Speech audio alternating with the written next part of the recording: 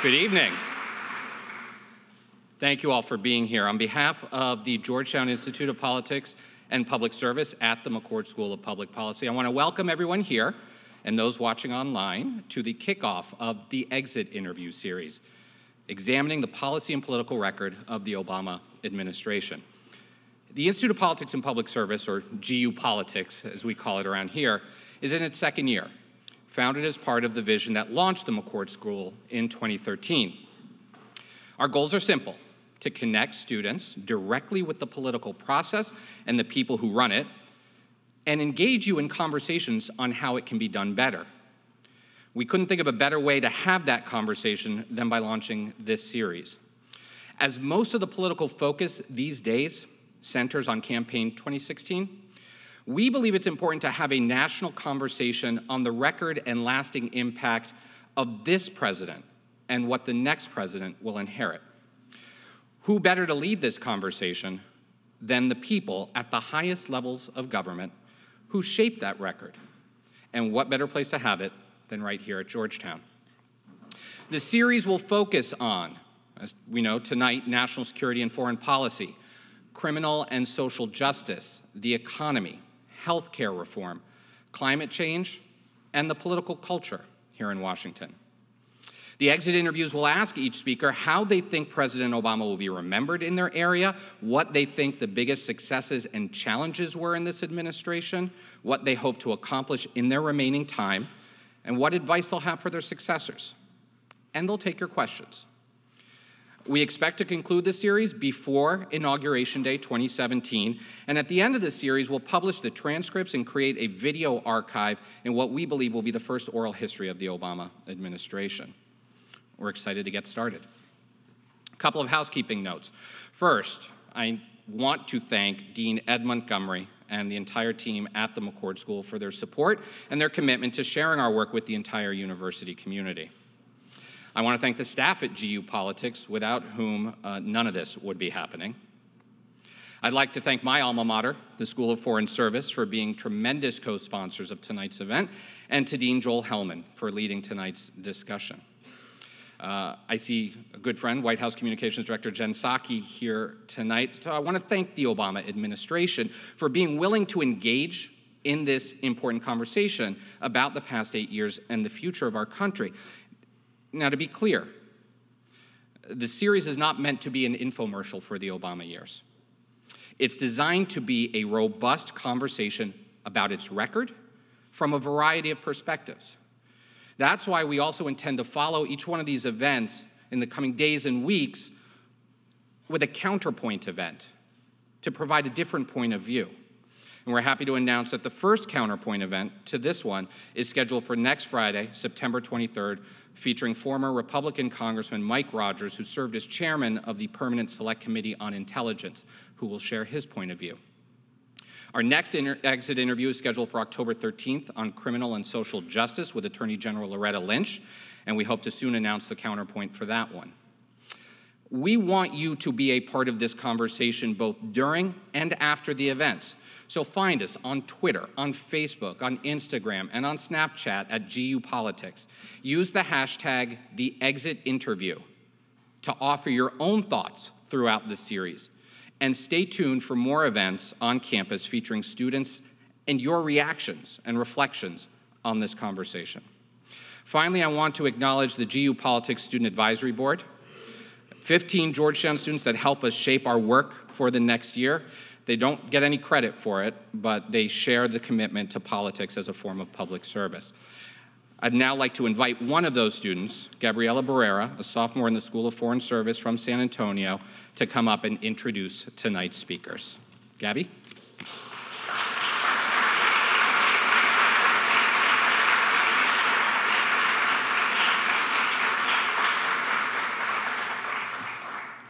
Good evening, everyone. Thank you so much for being here. My name is Gabriela Barrera, a sophomore in the School of Foreign Service and a member of the GU Politics Student Advisory Board. When I first arrived to Georgetown, one of the first events I ever went to was a GU Politics meet and greet with the new group of inaugural fellows, where I met Charlie Spies, who would later become my student strategy team leader. I remember getting to talk with Mr. Spies, and little did I know that GU politics would end up shaping my entire freshman experience. Now, as a student advisory board member, I can only hope to help provide that experience to my peers. And that's why it's my distinct pleasure and my honor this evening to be kicking off what's going to be truly a game changing series, the Exit Interview. Our moderator for this evening is Dr. Joel Hellman, who became the Dean of the Walsh School of Foreign Service in July of 2015 after working 25 years on some of the most complex issues of governance, conflict, and international developments.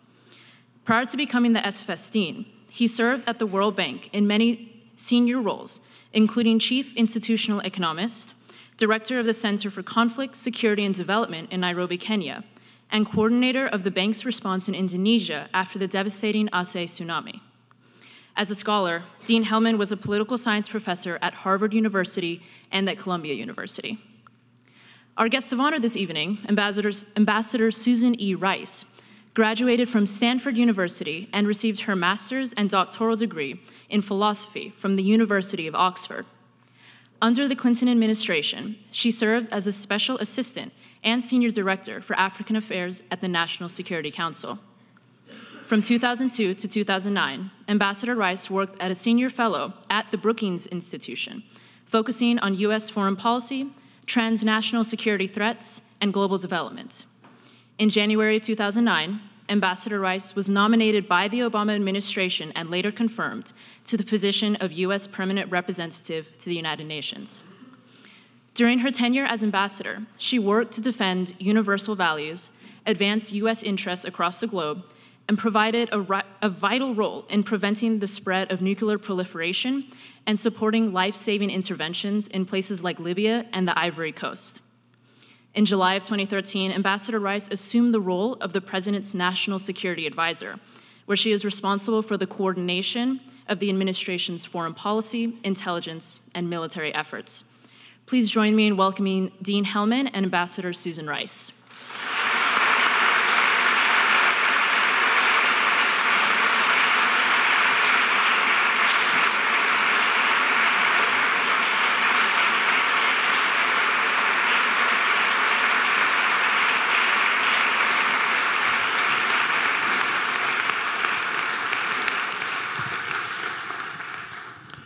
Well, thank you, Gabby. Welcome everyone here to Gaston Hall, and welcome to those who are following the event on our live stream. And most importantly, Ambassador Rice, welcome to Georgetown. Thank you so much. We're thrilled to have you it's here. Great to be back. Um, this is your exit interview. the purpose of the exit interview really is to get uh, your thoughts um, on your tenure, um, on your legacy, your future um, thinking for the next um, occupants of the office, um, and also for um, the tremendous group of students who are here today who are eager to do things um, and follow in your lead and footsteps. Um, and I think what I'd like to do in starting the exit interview is actually start with the entry, the beginning. Um, I was actually watching uh, some video footage of you at the on the campaign trail um, when uh, you were with Barack Obama and you were talking about the world and you described it. You said, this is a technical term. We inherit an unprecedented series of messes. So, what I'd like to do is if you could turn your thinking back to the beginning of the administration. Um, can you talk to us a little bit about how you saw um, what you inherited? What were the, the problems, the top tier security threats, and others that you needed to address um, in your tenure? Well, it was a difficult time, uh, as many will recall. I think the overwhelming challenge was the global economy and the fact that uh, we were in the midst of the worst recession since the Great Depression. And that had uh, happened suddenly, and it, it, had affected not only the livelihoods of, of, most Americans, but it also affected uh, the rest of the international community and the rest of the global economy and we had a big economic hole to dig out of. At the same time, we had roughly 150,000 troops deployed in Iraq and Afghanistan in two hot conflicts, and a concern that the fight against Al Qaeda and the hardcore counterterrorism challenge had not been sufficiently attended to in Afghanistan and Pakistan as we were uh, weighted more towards Iraq at the time. Um, in addition, we had many of our critical relationships and alliances that had been strained, if not frayed, particularly by the decision to go into Iraq and the manner in which uh, that was done. So we had many, particularly of our traditional European allies, feeling um, less than uh, good about the relationship with the United States. Our Asian allies and partners were feeling uh, that our attention had turned elsewhere. So we had work to do in terms of repairing um, our alliances and partnerships and relationships around the world and reestablishing and reasserting a constructive version of American leadership. I was at the United Nations, as you pointed out, at the beginning of the administration, and I really felt firsthand um, the sense of many countries that the United States had gone into a go it alone mode rather than a, uh, a collective leadership mode. Um, that we had shunned multilateralism and shunned collective decision making and weren't as interested in the views or the contributions or the perspectives of, of other countries and other peoples. And so we had all of those things to tend to simultaneously. Um, and so there was a very full agenda at the beginning. Um, we spent a, a, great deal of time, particularly around the principals table, which I now chair, but at the time I sat at as UN ambassador um, on issues like how do we deal with Afghanistan? Uh, and ultimately, the president made the decision that it was necessary, even as we were working to downsize um, our effort in Iraq, that it was necessary to surge uh, our effort for a period of time in Afghanistan.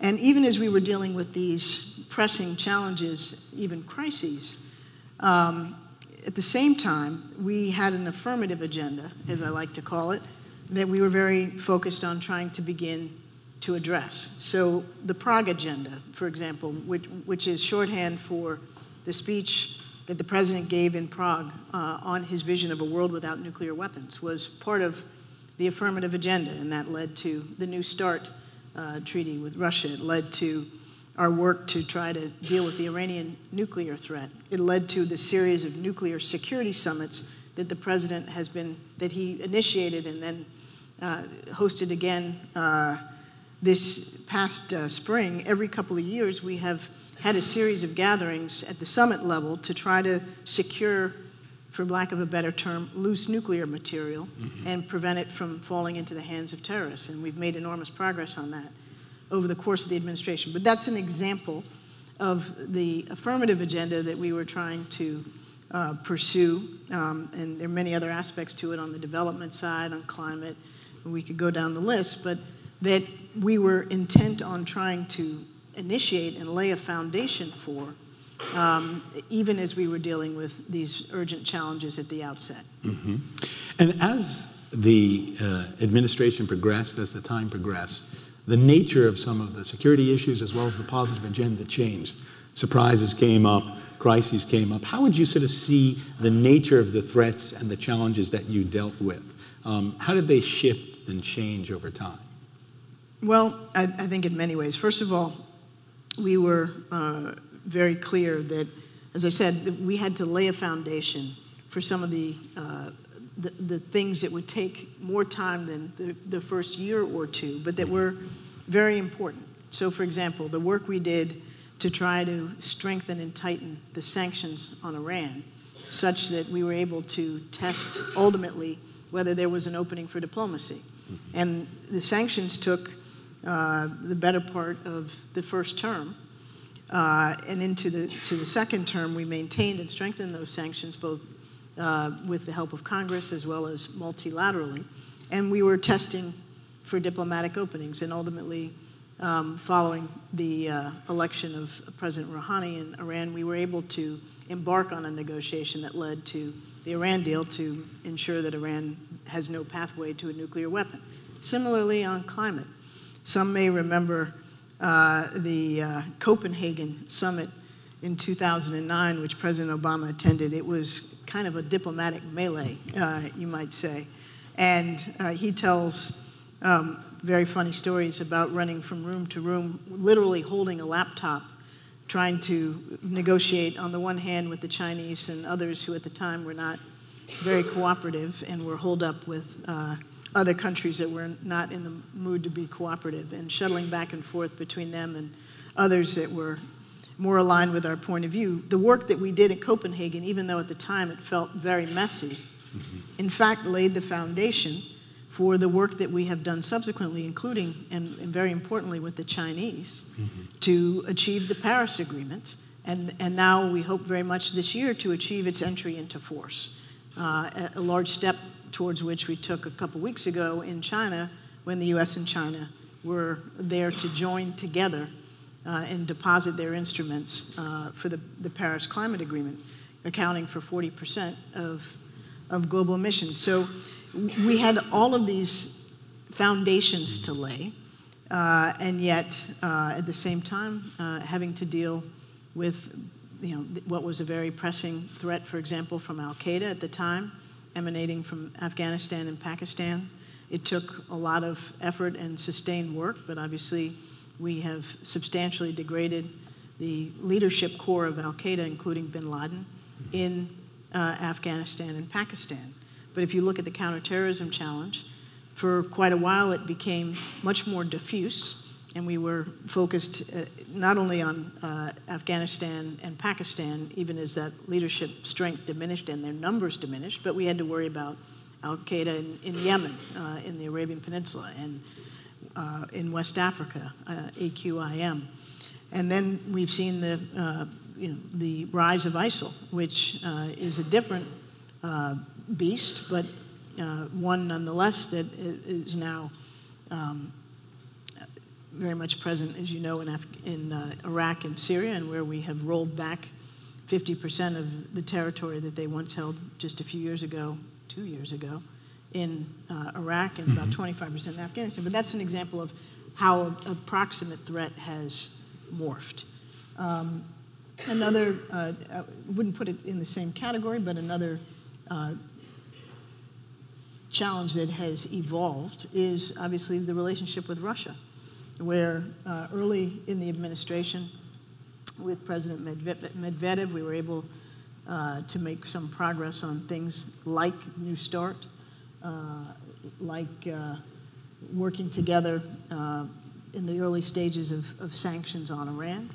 Um, and yet now that relationship has become ever more complicated um, by virtue of uh, Russia's role in Ukraine and taking uh, over territory from a sovereign country in violation of international law, the Syria challenge, uh, and just generally speaking, uh, a, a, more activist and difficult player in Russia that has um, raised concerns, particularly among our, our NATO allies, those uh, especially in closest proximity. So that's another example of uh, a challenge that's evolved. Mm-hmm. Now, I want to get a little further into some of those particular challenges that you, you describe. Um, in recent interviews, as President Obama looks back over his time, um, it was interesting when he was asked to describe what he thought was perhaps the, the dominant challenge that he faced. He used the term the problem of disorder, that sectarianism, tribalism, the erosion of state functions, um, and the multiple manifestations of that across different places was uh, perhaps the, the, the, dominant motif of what he had to respond to and think about um, how his, um, his presidency um, could respond in a reasoned um, and effective way in a set of problems that really were not anticipated as deep as they were. Uh, how do you see this, the, the, sense of the problem of disorder and how it sort of shaped the thinking of the president and the foreign policy team um, as they approach the? Well, I think you and I are both students of state fragility. And uh, I think if you study uh, state fragility uh, around the world, you will see that, you know, from Africa to Central Asia to South Asia, uh, even parts of Latin America, you, there have been for many years states that are, if not failed, uh, on the precipice of failure. What I think has been um, notable of late is that that phenomenon is now far more pronounced in the Middle East in the wake of Arab Spring. And, um, you know, whether we're talking about Yemen or uh, Egypt or Tunisia or, worst case, of course, Syria, uh, we're seeing to greater or lesser extents the challenge of the state maintaining not only sovereign control, Libya is an even worse example, um, but, um, but also the ability to govern effectively and deliver goods to citizens. And uh, at the same time, you've had the population challenging the legitimacy of the state in a, uh, in a rather unprecedented way. And so that has created in a very central uh, and significant region a degree of, uh, of disorder, to use that term, that we may have been accustomed to uh, managing in other regions, but here it was um, now uh, emerging in the wake of, of Arab Spring in a way and in a place uh, where our, um, some of our core interests were implicated. Mm-hmm. And is there an approach that you would describe about how the administration uh, handles this set of problems, not only in the Middle East, uh, we see it in South Sudan, we see it in other parts of the world, um, in terms of thinking about how to respond to these problems of disorder as they arise? Well, first of all, I'm, i would be the first to say there's no one size fits all formula. Uh, and you can't apply solutions in a cookie cutter fashion from one crisis to the next. And, uh, but I would say there's some principles we've tried to adhere to. First of all, when it comes to uh, the question of the uh, legitimacy of, of popular expression of discontent, we have taken the very strong view from uh, Tunisia to Libya to Egypt to Syria that there are universal principles and values that apply, that individuals have the right to assemble, to speak freely, to worship as they want, um, and to protest peacefully. And so the application of those universal values is, is one constant. And that's not just the case in the Middle East, it's, it's a philosophy that we try to, to bring to bear and uh, make manifest in our dealings with various different countries. Secondly, we've learned and we've tried to um, implement strategies where possible of working by, with, and through partners. So, uh, in, uh, in various conflict zones, particularly those that have a counterterrorism aspect to them, um, we have tried to limit, to the extent possible, direct American uh, military engagement on the ground and bring to bear our unique capabilities, which can be intelligence, it can be surveillance assets, it can be air assets, building a coalition. Um, but as we have in Iraq and Syria, as we've done in different ways at different times in Yemen and Somalia, uh, and, and, more recently in Libya, um, we are trying to work with those on the ground who can be viable partners. In some cases, those are state actors, that's preferable, um, where the, the state still exists and coheres and can uh, exercise some writ of security that we can reinforce. In other cases, in more difficult cases, we've had to work with non state actors. Um, but our view is that at the end of the day, it is going to be the, those that live in and belong to a country that are going to have to sustain security gains. And as we have seen elsewhere, uh, when it is us, it is by definition finite uh, and potentially reversible if once we leave, the local partners are not able to fill the void and sustain it. So that's another example of a principle that we have tried to apply, not to this, not with perfection and not uniformly everywhere, but uh, as a as a matter of philosophy. And the president laid this out um, pretty clearly in a speech he gave a couple years at West Point uh, years ago. Um, that's, um, that's another way we've tried to approach the challenge of disorder, emphasizing the necessity of good governance and the relationship between governance and security, and also investing in economic development. Um, that's a, a vital uh, prerequisite for building state capacity. and making disorder into greater order. Um, and you, we know that, and you know that from the work you've done. Um, you, know, you, need good governance, uh, or at least uh, well intentioned governance as a starting point, and you need some economic uh, traction that can give the state the resources to perform the functions that a state has to perform. Now, much of the response that you gave really talked about how you can work with partners, work with local institutions, build them up, give them the support, necess- support necessary. Um, I wonder what you think the administration has learned and, and actually a message to pass on um, about the, the limits um, of American power um, in these kinds of very difficult situations and how one makes an impact, but recognizing what limitations there are on American power to, to have an impact. Well, I think before I would convey to my successor a message about the limits, I'd convey to a, my successor a message about uh, the extraordinary um, capacity and importance of American power. I mean, if there's one thing that uh, we have seen reinforced time and time again. It's that where we face the most difficult problems, uh, whether it's building a coalition of 67 countries to deal with ISIL, uh, which is um, not only a threat, obviously, in, Afghan- in Iraq and Syria, but in, in many other places, including South Asia, including uh, you know, parts of Africa, including uh, Yemen, elsewhere um, that's the U.S. leadership is essential. If you're trying to deal with a, a, an Ebola epidemic that threatens not only West Africa but many parts beyond, it falls to us to take the leadership role to build a global uh, effort to contain and ultimately stamp out something like that. And similarly, we're leading in trying to deal with uh, the Zika virus and could use a little more help from Congress to get that done.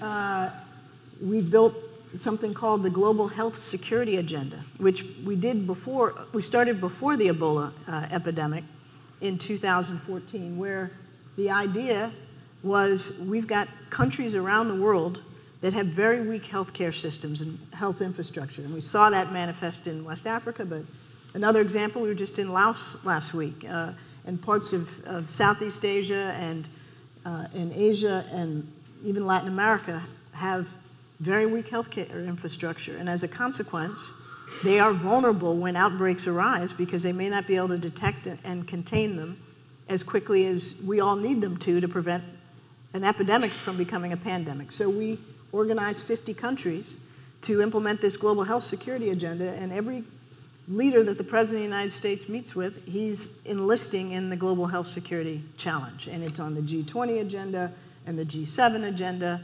and the UN agenda um, through the WHO. So that's another example of how American leadership is essential. And similarly, you know, to organize and maintain uh, pressure on Russia for its actions in Ukraine. That was U.S. leadership working with our European partners, even outside of a multilateral institution, um, to maintain the pressure of sanctions that have imposed some cost for its action in Crimea and Ukraine. So uh, the first message I'd convey is we lead. Our leadership is demanded, it's required, and uh, we should embrace that. But that's not to say that there aren't some things that aren't amenable to U.S. leadership alone, or even U.S. leadership in a coalition context. And I think, you know, our experience, and frankly that of previous administrations, in places like Afghanistan and Iraq, have underscored that, as I said earlier, that while we might be able to play an extraordinary role in terms of surging security support uh, and surging economic assistance and, uh, and diplomatic engagement, at the end of the day, it's not likely to be sustainable without the local authorities with the will and the capacity to carry it through. Um, and so in Afghanistan now, where we have roughly 10,000 troops as opposed to uh, uh, many, many more. Um, we are in a training and advisory and assistance capacity. We're helping the Afghan National Security Forces, which we have built up over years, to be the lead in the fight. We're no longer in a combat role, we're in an advisory and assistance role. and in a counterterrorism role. And, uh, you know, it's been long and imperfect, uh, but, and, and very costly for the Afghans as they've taken the brunt of the battle against the Taliban. But ultimately, it's, they have to do that, or it's not going to be sustainable.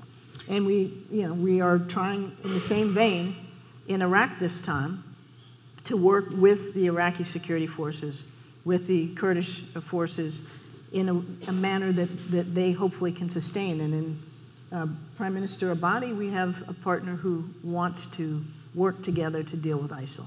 And how would you apply the lessons that you learned from Afghanistan, the lessons that you learned from Iraq to the Syria case, and thinking about America's leadership role in Syria? Syria is, in my estimation, one of the most difficult policy problems uh, that we've encountered, or certainly that I've encountered, not only in this administration, but in my experience in uh, the Clinton administration over eight years. And in my experience, frankly, as a, as a scholar of this uh, in the interim. And the reason for the complexity of it is because it is such a multifaceted conflict. It's a sectarian conflict, it's a, uh, a, regional conflict, it's now a great power conflict with Russia having inserted itself. Um, it is a proxy war on some level, it is a, uh, it is a civil war with a very fragmented opposition. And like virtually any conflict of its sort, it's ultimately got to be resolved at the negotiating table. There isn't a clear cut military solution. Assad will never be able to restore legitimacy uh, throughout the country. The opposition is probably never going to be strong enough to topple Assad. And so ultimately, this is going to have to come to a negotiated solution with a transitional arrangement agreed. And we've seen that for years. But in the meantime, everybody's doubling down, and the violence is horrific, and the outflow of people and refugees and the humanitarian toll is extraordinary. And so our leadership role, again, in, you know, in trying to uh, weigh the complexities here is first and foremost, we have an obligation and, and we are focused first and foremost on trying to deal with the threat from ISIL and, frankly, uh, the Al Qaeda elements that are also present in Syria, um, sometimes called Al Nusra, but it's Al Qaeda in Syria, um, that have the potential to pose a direct threat to the United States or our allies. That is the weight of our present effort uh, in Syria and Iraq. At the same time, we, have, we are the largest contributor of humanitarian assistance, like $5 billion. We're trying to also uh, help our European partners and others deal with the refugee outflow. We're trying to support Jordan and Lebanon and Turkey and others that have absorbed the consequences uh, of the Syria conflict. But above all, we're trying to get some traction to resolve it, which is the sort of prerequisite for success on all those other fronts, from the counterterrorism to the regional stability. And that necessitates, uh, however unsavory it may be, dealing with those players that, that have maximum influence, which is why we spent uh, a great deal of time trying to um, work with Russia, despite our tremendous difficulties and high level of distrust between us. Because if, and I underscore if, we can achieve a degree of calm that can be sustained and stop the bombing of, uh, of civilians, we can have the prospect of creating an environment where there's the potential for negotiations to gain some traction. Absent that, this is going to grind on longer, and that's what we're trying uh, to avoid, even if it's a not a high probability gambit. Now, st- stepping back, you said this was the biggest challenge. Would you put this hardest. as the hardest? hardest? What would you say is the biggest challenge? And since we're looking at the overview of the whole period, you your biggest big? success. Well, what your what what you will take away from your time in office as saying, my greatest achievement with the uh, President Obama's team is this, um, and the area in which I wish we would have achieved much more progress is blank. Well, on, on the achievement side, uh, if you'll indulge me, I mean, I think there are several things that, that we will look back on and, um, and feel like we have made a significant and lasting contribution. Um, in the realm of addressing the challenge of climate change, which we think is urgent and pressing, um, the leadership that the president exerted, um, the diplomacy we were able to uh, build with China, the fact that for years, again, like global health, but even to a greater extent, on every bilateral agenda we have, climate change is a staple issue. We've rallied the world to an agreement that uh, is not in itself sufficient, but is, has a potential to bend the curve in a direction that we all uh, need to, uh, to see it go. So that would be uh, one example. I, I'm particularly uh, proud of the effort that went into uh, work towards the Iran deal. Um, and it's, you know, it's got its share of critics, but I challenge anyone to show a better way of ensuring that Iran does not have a pathway to a nuclear weapon. The critics of the Iran deal aren't suggesting that the outcome is bad. They, they wanted something else uh, in terms of Iran policy as well. So, and, and the Iran deal was never meant to solve all of our problems with Iran. We still have great concerns about their role in the region, their support for terrorism, their threats to Israel, uh, their human rights abuses. But I'd rather an Iran that is bad without nuclear weapons and Iran that's bad with nuclear weapons. And so I think that's an important contribution. Changing 50 years of failed policy towards Cuba uh, is another thing that I think uh, we will, I hope, as an, as an, American public, look back on and say was past time uh, and was necessary to do. Um, we have invested a great deal in, in things that don't get much attention that have been in the realm of, of global development. Uh, that we, we, were talking about state fragility and the risks that that poses. Um, and I was talking about the, the necessity of investing in the economic pillars of stability. Well, the work that uh, the president has led on uh, global food security uh, and ensuring that, that in many parts of the world where food insecurity was a mm-hmm. huge source of fragility. We have built capacity and changed the trajectory uh, in many of the most vulnerable places in the, the food security space. Uh, Power Africa, which is an initiative to double the amount of uh, megawatts on the African continent, makes a difference between people being able to do homework at night and, and get an education. It also has enabled clean energy technologies to be far more readily available so that in developing places like Africa are not doing it the dirty way, the old way, uh, to the same extent that, that, we did. The president has a series of young leader uh, initiatives that have linked up leaders across Africa and Southeast Asia and Latin America and most recently Europe that have built networks and, and communities of government leaders, civil society leaders, business leaders that will be the next generation um, in their countries. And now they have a network that brings them together to share expertise. I think the value of that cannot be uh, overstated. And meanwhile, you know, the rebalance to Asia, which is the region where uh, the United States' uh, future lies in terms of both our economic future and our security uh, interests, has also, I think, been an important uh, and, and very significant uh, signature of President Obama's tenure. Um, and so I could go on. We've got to get TPP ratified. That remains an important piece of sure. unfinished business. But um, the rebalance is another thing that, that I would um, suggest is I could go on, but I know and the you areas want... where you didn't achieve what you wanted well, to achieve. Syria has been, as I said, an enormous challenge and frustration, and because of the extraordinary human costs of that, I think that that weighs on um, all of us. Uh, not because, at least from my vantage point, I think that we could have, would have done something differently and everything would have been different. I don't, actually, and we could spend time on that. But I do think that it, it's a, a, difficult problem that, uh, that I wish had a, a, cleaner solution that would come to fruition sooner. I'll, I'll give you another example of a, of a frustration on a, on a different scale, but nonetheless very real. We all invested a great deal of diplomacy and effort uh, and hope, frankly, in the birth of South Sudan five years ago. And uh, five years hence, it is back in the throes of virtual famine almost, civil conflict, economic collapse, be, all because of venal leadership. And that is an enormous tragedy because the people of that country have suffered for so long, first under the yoke of a repressive regime in Khartoum, and now uh, because its own leaders have failed them.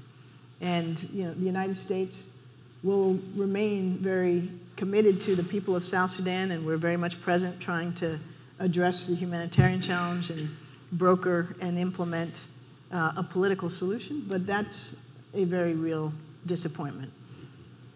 Now, I'm going to take a group of questions from the students who lined up earlier and wrote some questions on uh, cards. Um, a student's going to bring me up, but while I'm getting the questions, I actually just also want to ask you if you if you had to sum up the eight years of the administration, if you're looking at the Obama years and trying to to, to summarize a set of principles um, that that came out of the engagement on global affairs, uh, both what you intended, what surprised you, what came out. How would you summarize this uh, this period? Would, would there be an Obama doctrine? I know that Obama doesn't like saying that there's a set of principles that guide all his actions. But is there a kind of coherent frame that you would use to describe his approach to foreign policy? I'm very wary of doctrines. Yes, indeed. Uh, and not just because he is. I don't like him for my, my own reasons. But l- let me try to summarize it this way American leadership is indispensable, but many of the most uh, difficult and pressing problems we face internationally uh, are, by definition, the kinds of threats that aren't amenable only to the exercise of American power. So, whether you're talking about dealing with pandemics or climate change or terrorism or proliferation or any of the failed states, uh, these are challenges that can't be addressed through might alone or through one country alone. And so, therefore, while we must lead, we have to lead to the greatest extent part, uh, possible with others and to bring the resources, the capacity, uh, the legitimacy that other countries and, and uh, collective action uh, necessitates. And so I think we have tried very hard to lead but to enlist at the same time, uh, enlist the capacity, the resources, the legitimacy of other partners. Um, and there's, a, as we've discussed, there's a rare challenge in the world that, that I can think of at the present that is simply a matter of the application of American power. Well, I've got a lot of questions here, as you can see, and we've got a limited time. Let me, um, uh, let me read some of them, and we'll start just one by one and see how many we can get through. Justin Plum from the college, a class of 19, asks, can they can they um, stand up when we when I name? If Justin's here, just so so you can see. Okay. Hi, Justin. So it's better to see a, a face with the name.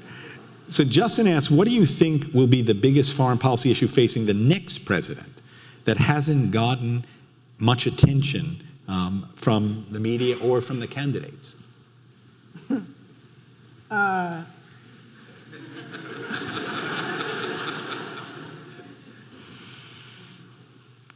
Well, I think the, uh, the next administration is going to face many of the same challenges that we're wrestling with now. Uh, there's no question that uh, the challenge uh, of ISIL and, and, the counterterrorism challenge is, is going to endure. Uh, I think you know, our aim is to shrink the problem, um, but it's, it's not going to be gone. So that will remain um, a very serious one. Another, I think, is the, the cyber uh, security challenge, which does get a lot of attention inside the administration um, and perhaps through uh, other uh, corridors in Washington, but I'm not sure has gotten the degree of public attention uh, that the threat uh, necessitates. And it's a threat to our, our economic security, it's a threat to national security, um, and it is a threat that may emanate from states or from non state actors or from teenagers in their bedrooms. And uh, I think that will continue to rise as a significant challenge for subsequent administrations. another one that, uh, frankly, I, you know, I prayed does not uh, arise, but that I frankly worry about uh, rather significantly, and I think our successors should worry about, is the risk of pandemic disease. Um, I, I, don't mean Ebola. Ebola, thankfully, was not a pandemic. But if ever we faced um, an avian flu that circled the globe in a, a rapid way, uh, that would be a very deadly potential uh, threat to people here and people around the world.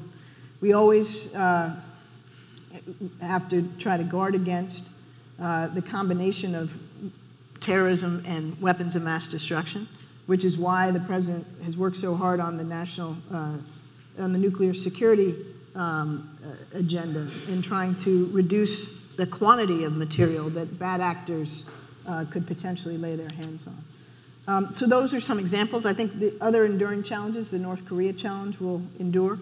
Uh, and um, we need to also, for any incoming administration, be mindful that uh, those who may wish us ill may view the period of, of transition or the first months of a new administration as, I think, is customary as a potential point of vulnerability, where they might try to test uh, the limits of, of what they might get away with. And I think we're going to have to be mindful, uh, particularly in places where um, we are in close proximity to um, potential adversaries, that we manage that carefully.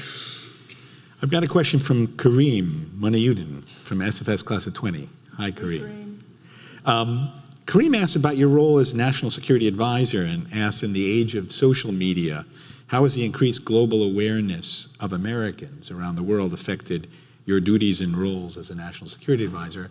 And I'd, I'd like to add and follow up also on your thinking about the role of National Security Advisor. When you think about perhaps advice again to your successor, um, is there a way in which you think that the role of National Security Advisor ought to change? There's been a lot of discussion about what the role entails. How effective is it be, and how can you make it more effective?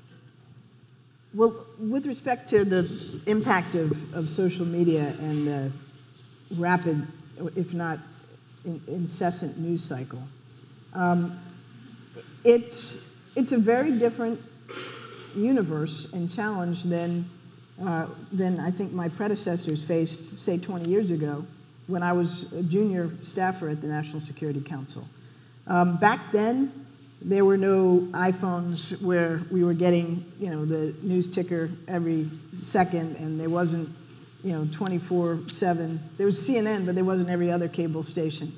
Uh, and we carried pagers on our belts, and if the pager went off, you had to call the situation room, and then the situation room would read you some update on what's going on. It was completely different.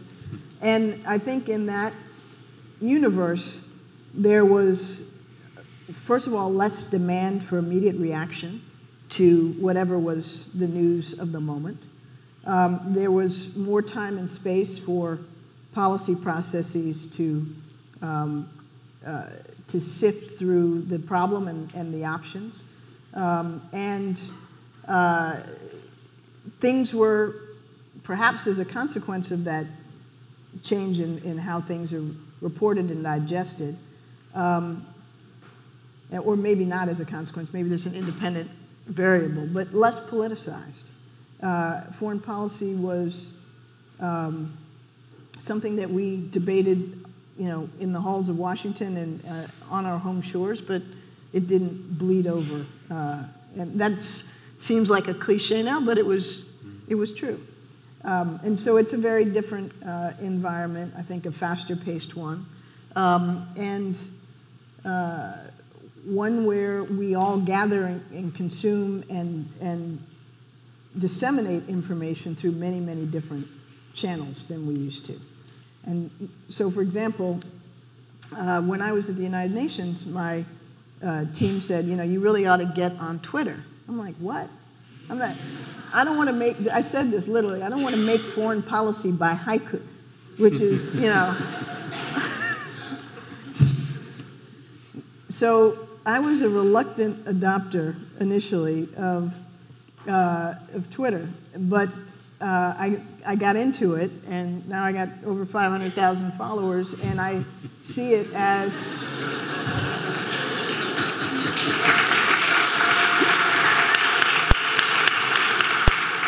Sorry, I had to get that in. Can you give us our Twitter handle, please? At Ambassador Rice. but, um, but now I do actually see the utility of it as a way to communicate in a, uh, an environment that is fast paced and where people are digesting information in, in, in, small bites. And it compels us to be able to communicate in a, a much more succinct way. Now, as for the role of National Security Advisor, um, you know, different uh, individuals who have held my seat have approached the job differently.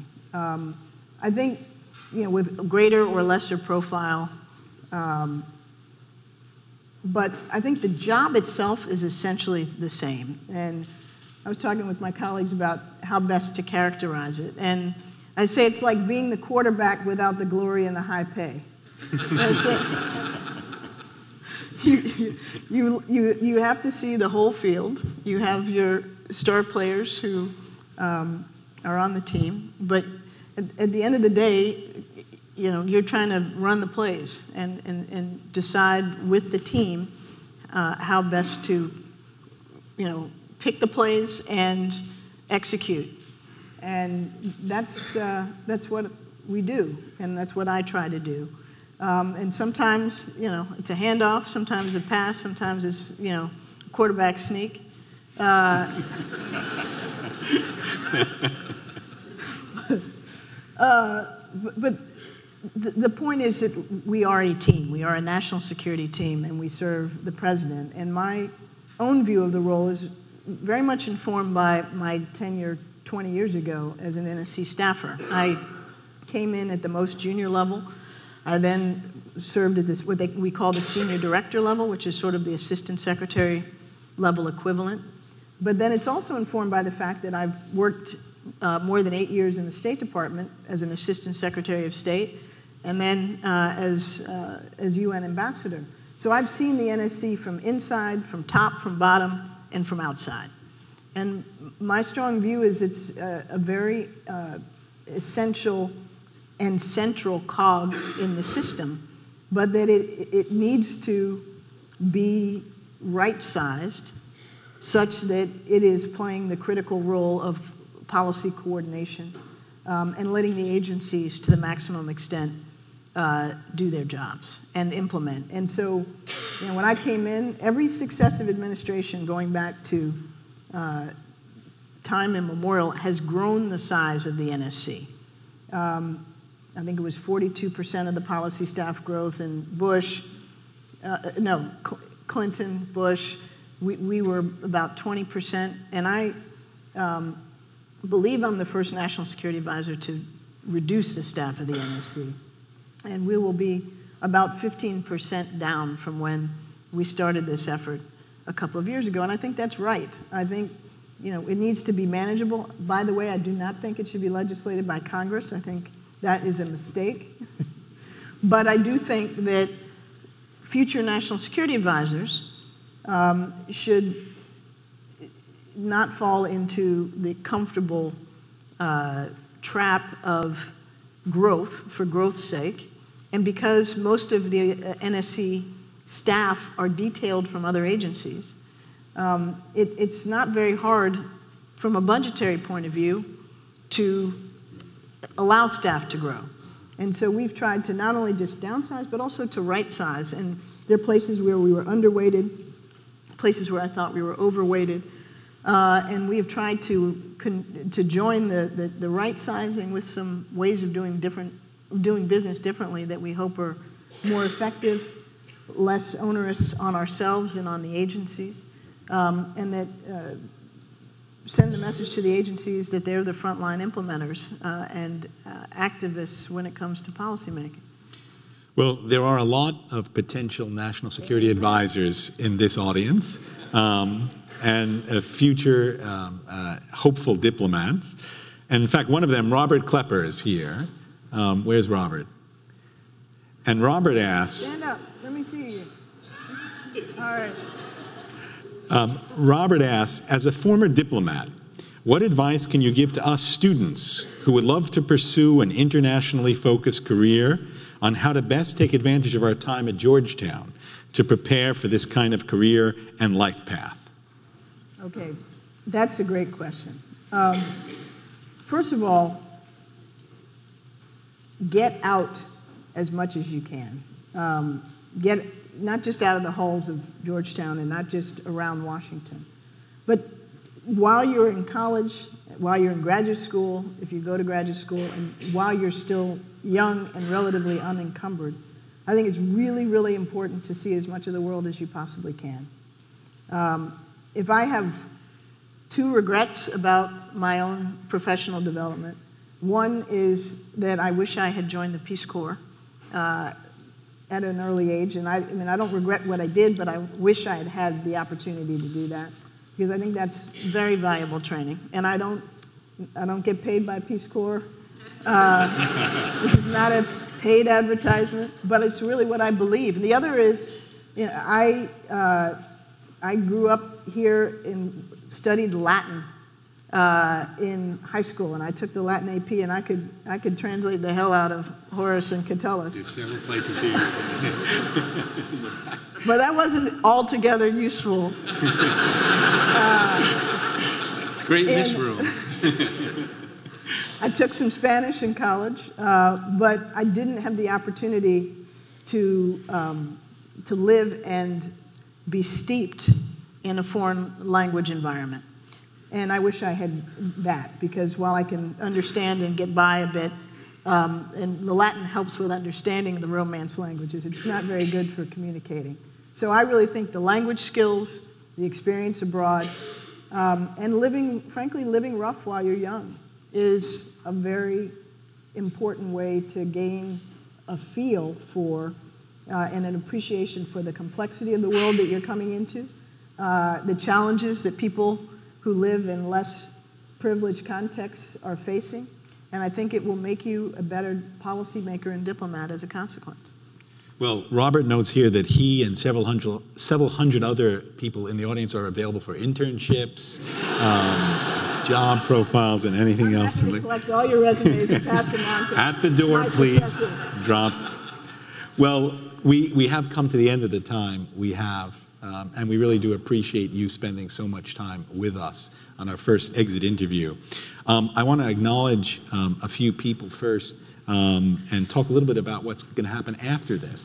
First, I want to acknowledge the Institute of Politics and Public Service um, at the McCourt School of Public Policy um, for hosting this exit interview series. You're the first of this series, and it's a wonderful. I haven't messed it up. No, not at all. It's a wonderful opportunity for us to really gain insights um, into your time in government. I want to acknowledge um, Dean Ed Montgomery, um, the executive director, um, Mo um, Elleithee, um, for their leadership.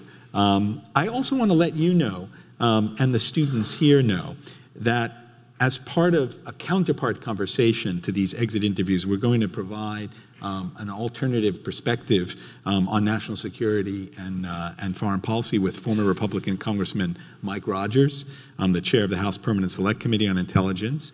Um, and that date is Friday, September 23rd. And we're also going to invite students to be part of this conversation. So I hope you students will stay tuned for more events to continue and engage um, in this conversation and this six-part series of exit interviews. But most importantly, I want to thank you, Ambassador Rice, um, for taking out time of a, of a very, very busy schedule to come spend some time with us, give us your views and insights. We really appreciate it, and we um, very happy to welcome you back Thank here Dean to Georgetown. It's been great. Thank you, Don. Thanks so much.